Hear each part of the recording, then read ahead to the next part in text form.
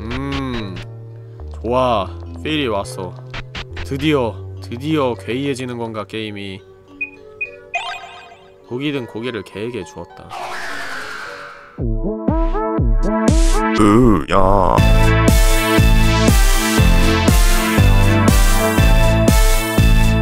으야 자 이번에 해볼 게임은 난 케이크가 먹고 싶어 라는 쭈꾸루 게임입니다. 미리 경고를 드리지만 지금 굉장히 깜찍한 배경 화면에 낚이신 분들 많으실 텐데 공포 게임이고요. 진짜 오래간만에 쭈꾸루 게임이죠. 요즘에 쭈꾸루가 막 이렇다 할 만한 그런 게임이 없어가지고 잘 안 건드리고 있었는데 이게 제가 또 이런 장르를 좋아하잖아요. 딱 겉으로 봤을 때는 괜찮아 보이는데 내용물 보면은 개쓰레기 개쓰레기라기보다는 굉장히 고어하고 막 무서운 이상한 것들. 그 이게 딱 그 장르에 부합해서 한번 가지고 와봤어요. 한번 플레이 해보도록 하죠. 그러니까 자세한 내용은 저도 잘 모릅니다. 그냥 그렇다고 해서 가지고 온 거지 초단편 게임이라 세이브는 지원하지 않는데요. 엄청 짧나봐. 아쉽네 지금 딱 구조를 보니까 메리의 꿈? 다들 아시죠? 메리의 꿈이라는 쭈꾸루 게임이 기억나네요. 오른쪽 위에 링크 걸어드릴 테니 꼭 보시기 바랍니다. 그것도 재밌어요. 아빠가 날 위해 케이크를 놓고 가셨어. 그치만 이 케이크를 먹으려면 포크가 필요한데. 아 꿈꾸는 메리구나. 어. 아빠한테 달라고 하고 싶지만 지금 아빠는 집에 없고 그러니 내가 알아서 찾아야겠지? 포크는 아마 옆에 금고 안에 있을 거야. 근데 금고를 열려면 열쇠가 필요할 텐데. 아니 포크를 왜 금고에 보관하세요? 열쇠가 대체 어디 있을까? 아참 아빠가 분명 그랬었지. 우리 집안 어딘가에 퍼즐이 숨겨져 있고 그걸 풀면 열쇠를 얻을 수 있다고. 어 단편 게임이라 어 스토리가 아주 참신해요. 어, 나쁘지 않네요. 포크는 이 안에 들어있어. 하지만 난 지금 열쇠가 없어. 푹신한 의자야. 여긴 늘 내가 앉는 자리지. 정말 맛있어 보이는 딸기 케이크야 먹고 싶다. 꼭 포크가 필요해요? 그냥 집어먹으면 안 되는 걸까? 거참 속이 상하는 거 식탁 위에 귀여운 꽃과 내가 먹고 싶은 딸기 케이크가 있네. 푹신한 의자야 어 근데 상호작용이 되게 다 잘 돼 있네요. 주방은 깨끗하게 잘 정리돼 있어. 천장에 스위치 같은 게 4개 붙어있어. 퍼즐인 것 같은데 풀어볼까?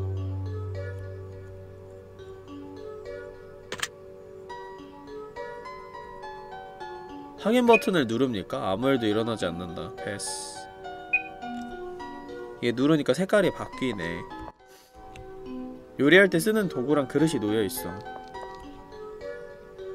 음, 엄마의 손맛이 느껴져. 한 조각 가져갈까? 고기를 얻었다.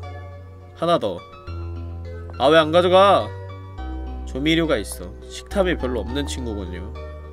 쓰레기통이야. 배춧잎 몇 조각과 뼈가 들어있어. 여긴 밥하는 곳이야. 내가 아직 어려서 가스렌지를 못 써. 오, shift를 누르니까 아주 살짝 더 빠르게 이동할 수 있고 지나갈 때마다 발자국이 표시가 되고 시간이 지나면 사라지네요. quality 괜찮은데? 케이크 먹고 싶어.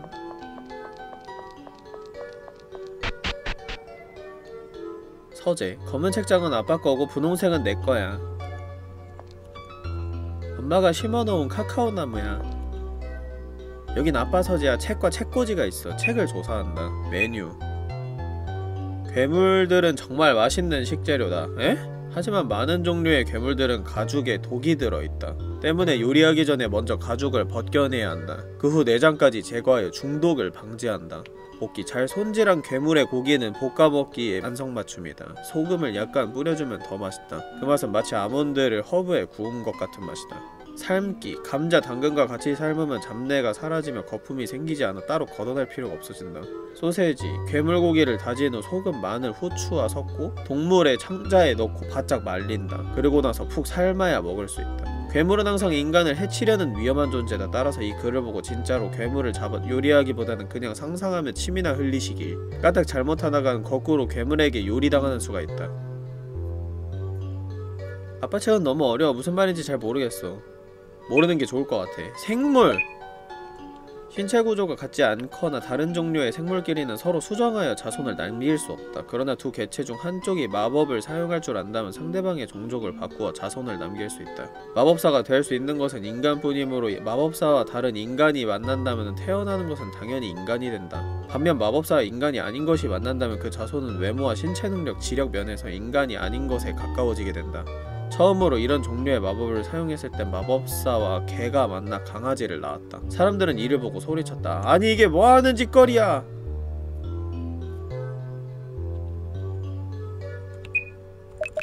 시집 손가락으로 시간의 현을 누른다. 나의 젊었던 시절. 나는 동화 속을 거닐었고 긴 시간 후 깨어나 비로소 무슨 일이 있었는지 깨달았다. 나는 그저 꿈을 꾸었구나. 이제 인생의 막이 내리고 관객들에게 인사한다. 다음 무대를 기대해 주시오라고.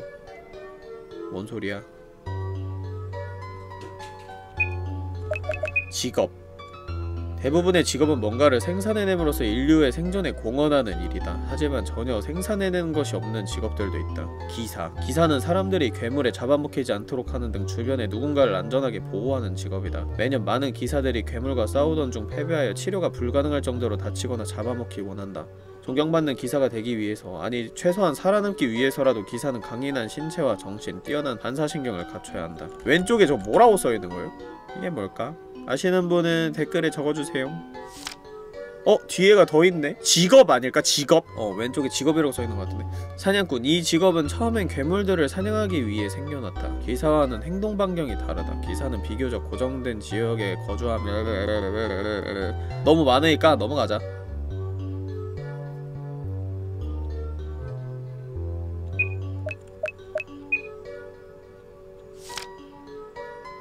이 마법사는 읽어야 될 것 같아요. 남자들은 누군가에게 비웃음 사는 걸 싫어하기 때문에 특히나 이 직업에는 별로 종사하지 않으려 한다. 왜냐면 마법사는 일견 여성스러워 보이는 긴 옷을 걸치고 매일같이 뜨거운 손 앞에서 이상한 재료들과 씨름을 해야 하기 때문이다.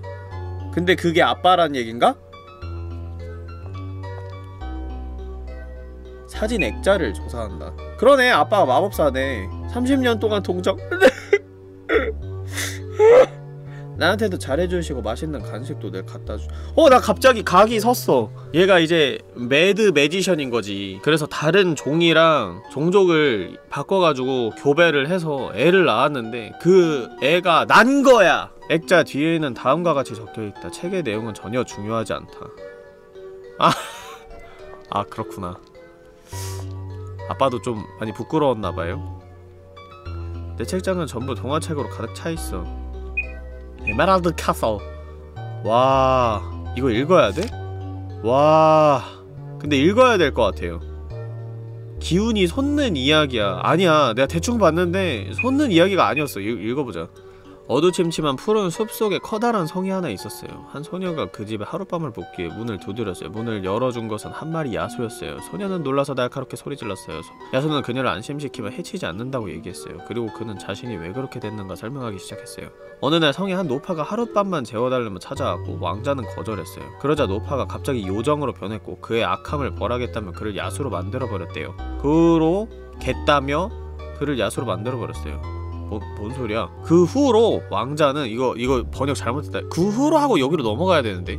왕자는 재워달라는 사람들을 거절하지 않기로 했다면서 소녀를 재워주겠노라 말했어요. 소녀는 성 안으로 들어갔고 말하는 옷장과 시계, 주전자와 만났어요. 어 이거 그건데? 미녀와 야수? 에메랄드 캐슬이 아니라? 야수는 그들이 원래 자신의 하인들이었는데 요정이 이렇게 만들어버렸다고 말했죠. 그렇게 며칠이 지났는데 갑자기 마을 사람들이 성 앞에 우르르 몰려왔어요. 야수는 놀라서 성 앞에서 달려나갔죠. 마을 사람들은 성 안에 숨겨, 숨어든 마녀를 죽이라고 아우성이다가 마녀였어? 야수를 발견하자 마녀와 야수를 둘 다 죽이라고 외, 소리치기 시작했어요. 야수는 소녀를 쳐다보며 아연실색하며 말했어요. 어째서 마녀라는 걸 말하지 않았어? 그러자 소녀가 말하길 안 물어보셨으니까요. 만약 당신이 싫다면 지금이라도 여길 떠날게요. 일부러 빌붙을 생각은 없었어요. 나야 마법을 쓰면 되니까 잡혀 죽을 일은 없지만 당신은 아닐 테니까요. 야수는 잠시 고민하다가 오히려 마녀와 힘을 합쳐 쳐들어온 마을 사람들을 죽이기 시작했어요. 그러자 요정이 나타났고 야수로 만들어놨더니 이제 마녀와 힘을 합쳐 사람들을 죽이기까지 하냐? 고 말했어요. 그러자 마녀가 말했어요. 이 또라이 요정아 나랑 한판 붙자. 결국 마녀와 요정은 서로 싸우게 됐죠. 이때 요정은 왕자 당신이 만약 나와 한편이 돼서 저 마녀와 싸워준다면 다시 원래 모습으로 돌아오게 해드리죠. 라고 말했어요. 마녀는 이해질세라. 그럴 것 없다. 전현 때문에 당신과 당신 하인들이 이 꼴이 됐는데 전현을 죽이면 모든 게 원래대로 돌아올 테니 차라리 나를 도와 전현을 죽여라 라고 말했어요. 결국 야수는 요정을 덮쳤고 거기에 마녀가 마법으로 마무리를 했죠 그러자 왕자와 하인들은 원래대로 돌아왔답니다 뭐지? 개 흥미진진한데 다른 챕도 읽어볼까? 제비 신데렐라 기운이 솟을만한 이야기였어 나쁘지 않았어 옛날에 온몸이 제투성이의 대머리인 하나 아가씨가 있었어요 어? 사람들은 그녀를 잿빛 신데렐라라고 불렀어요. 어느 날 왕자가 왕비를 뽑기 위해 무도회를 열었어요. 그리고 전국의 모든 아가씨들에게 초청장을 보냈죠. 신데렐라도 참가하고 싶었지만 초청장에 대머리와 개는 참가할 수 없다 라고 씌여 있었어요. 그래서 계모와 언니들은 신데렐라에게 집이나 보라고 하면서 예쁘게 화장을 하고 무도회에 갔어요. 신데렐라는 슬퍼서 울었어요. 그러자 돌아가신 아빠의 영혼이 신데렐라를 위해 개의 털을 모아 가발을 만들어 주었어요. 그렇게 신데렐라는 가발을 쓰고 무도회에 갔어요. 신데렐라는 수많은 사람들 속에서 단번에 왕자의 눈에 띄었고 밤새도록 그녀와 춤을 추었죠. 계모는 그런 신데렐라를 전혀 알아보지 못했어요. 그러다 가 12시가 됐죠. 신데렐라는 계모에게 들키면 욕먹을까봐 왕자를 뿌리치고 황급히 집으로 돌아갔어요. 둘째 날도 셋째 날도 그렇게 신데렐라는 도망갔습니다. 왕자는 그녀를 잡아두고 싶었죠. 그러다가 그녀의 가발을 잡아버렸고 신데렐라는 머리가 벗겨지고 말았습니다. 신데렐라는 궁전 계단으로 황급히 도망갔지만 왕자는 달빛에 반짝거리는 그녀 그녀의 뒤통수에 넋이 나가 마음을 완전히 뺏겨버렸습니다. 어? 왕자는 신데렐라를 찾기 위해 전국의 대머리들을 찾아 신데렐라가 남기고 간 가발을 씌워보았습니다. 많은 여성들이 가발을 쓰기 위해 삭발 투혼을 불살랐지만 가발은 전부 맞지 않았습니다. 결국 왕자는 가발이 꼭 맞는 신데렐라를 찾아냈고 그녀와 결혼해서 행복하게 오래오래 살았답니다. 뭐지 시부레? 행복한 이야기네. 어 근데 이거 해피엔딩 맞아. 아빠의 영혼이 한 건 했다. 다 이런 약간 병맛스러운 동화겠죠? 에, 일단 분량상 너무 이게 늘어질 수 있으니까 어 일시정지해서 여러분들이 읽어주시기 바래요. 신기한 이야기네. 아얘 이런 반응이 오니까 또 읽고 싶어지잖아. 아 빨간 모자 분량도 짧아 아, 빨리 봐야지. 늑대 한 마리가 길에서 빨간 모자를 발견했어요. 그리고 어딜 가냐고 물었죠. 빨간 모자는 할머니를 만나러 간다고 말했어요. 늑대는 할머니와 아, 왜 이렇게 글씨가 빼곡하게 했어 여기는? 빨간 모자 둘 다를 먹어치워야겠다고 생각했어요. 늑대는 일단 갈림길 어딘가에 예쁜 꽃이 피어있으니 가는 길에 꺾어가라고 빨간 모자를 후 할머니 집으로 먼저 뛰어갔어요. 한편 할머니를 드리기 위해 꽃을 한 다발 꺾은 빨간 모자는 할머니 집에 도착했어요. 그리고 침대 옆에서 할머니가 맑고 건강해 보이는 모습으로 담배를 피고 있는 걸 보았어요. 어? 늑대는 침대 위에 누워 말없이 눈물만 흘리고 있었죠. 어? 이후 할머니와 늑대는 서로 좋은 친구 사이가 되었고 빨간 모자가 올 때마다 늘 둘이 함께 있는 모습을 볼 수 있었답니다. 결혼했니? 처음은 다 그런 거야. 후. 파란 인어. 잠깐만. 대충 읽었는데 완전 개 병맛이야. 아 읽어볼게요. 짙고 푸른 바닷속에 작고 예쁜 인어 하나가 살고 있었다. 인어는 왕자를 사랑했다. 그래서 마녀에게 자신의 꼬리를 사람의 다리로 바꿔달라고 부탁했다. 마녀가 코털을 뽑으며 얘기했다. 내가 그렇게 한들 인간의 언어도 쓸 줄 모르면서 어떻게 왕자에게 사랑을 고백할 거지? 게다가 왕자가 만약 널 사랑하지 않는다면 넌 물거품이 돼버리고 말 거야 인어는 마녀의 말이 일리가 있다고 생각하고 열심히 공부해 토플 고득점을 땄습니다. 그리고 마녀에게 부탁해 인간의 다리를 얻은 뒤 해안가로 올라가 왕자를 만났죠.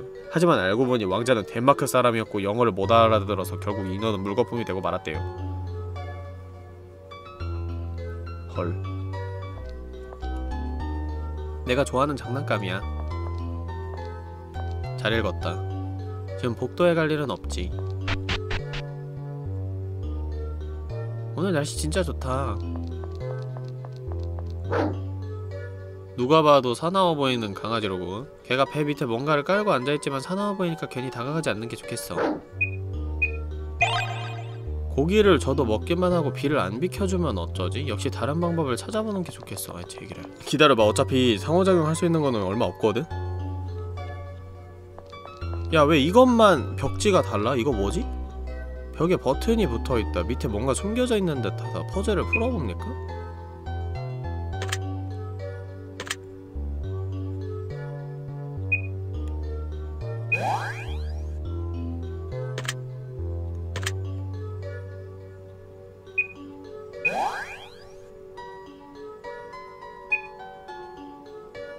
아니 뭐 단서도 하나도 없으면서 이걸 어떻게 풀으라는 거야?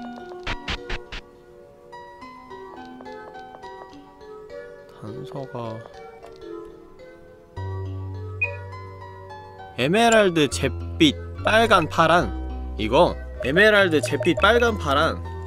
아 이해했어. 아 그러니까 아까 그 버튼 4개 있던 거 있잖아요. 그거 여러 번 누르면 색깔이 변하나봐요.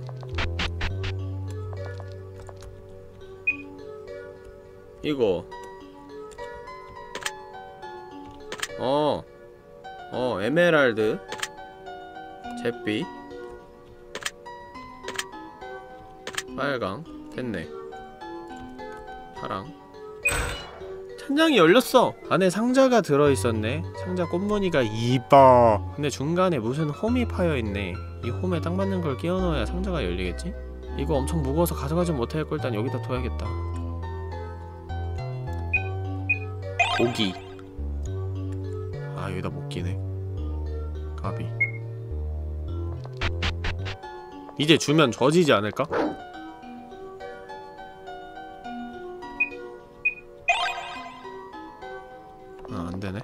아 이거 안되겠다 혼수 좀 받을게요 이거 나 혼자서 못하겠어 아 이게 단서가 생각보다 되게 어렵게 있거든요? 아까 나무 모양이 힌트라고요? 네? 나무 모양? 나무가 있었어? 어디? 이거? 방금 찾은 상자 나무 모양 하, 야 이거 너무 어렵다 아 나 상자 장식인 줄 알았는데 아... 아 이게 이게 힌트구나. 아 이거 진짜 훈수 안 들으면 모르겠는데? 오웬 오 웬웬 오웬인 거네요? 오웬오 웬웬 오웬. 아 어려운데? 오웬 오웬 웬, 오, 웬. 아무래도 일어나지 않는다. 야 아래서부터라고? 미친 새... 야 아니! 식물은 밑에서부터 자라는 게 맞지만 그 자란 게 위로 올라가잖아! 웬 오, 웬, 웬, 오, 웬, 오? 아 진짜 너무 어렵네 게임. 아 나 이렇게 어려운 게임인지 몰랐어. 안에 독이 든 스포이드가 있어. 이건 절대 먹으면 안돼. 가져갈 필요는 없겠어. 응 가져갈 거야. 강아지야 기다려 아 여기다가 고기를 놔 독을 뿌립니까? 고기에 독이 스며들었다 음 좋아 필이 왔어 드디어 드디어 괴이해지는 건가 게임이 독이 든 고기를 개에게 주었다. 와 죽는 소리 개가 죽었다. 이상하게 생긴 쇳덩이네. 이건 어디에 쓸 수 있을까? 이상한 모양의 쇳덩어리 누가 봐도 상자에다 꽂아야 되는 거죠?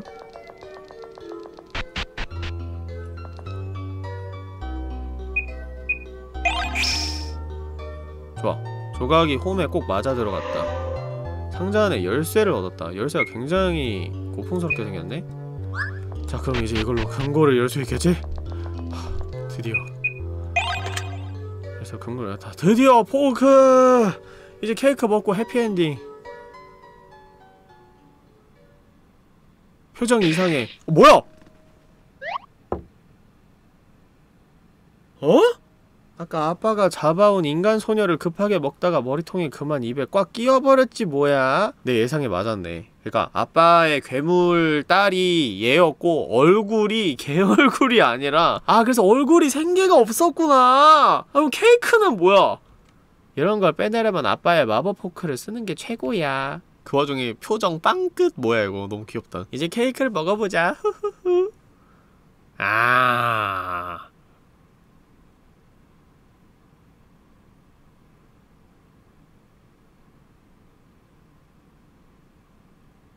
아 머리를 통째로 먹은 줄 알았는데 그냥 뺀, 빼낸 거였네요.